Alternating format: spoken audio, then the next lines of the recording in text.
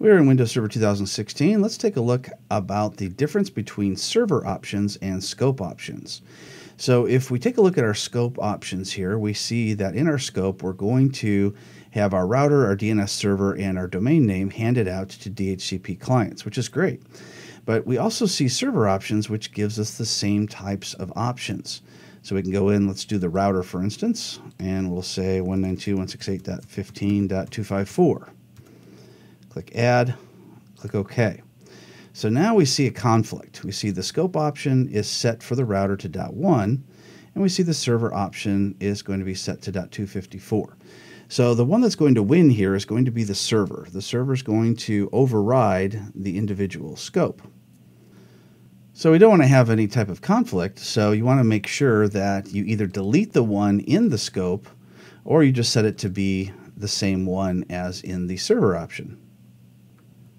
Now, if we add another scope, which we can do here, we can right click, we can choose to add another scope, then what's great about that is if it needs to have the same gateway or router address, then we can do that by setting it at the server level instead of having it at the scope option level. So let's go ahead and delete the one at the scope option level.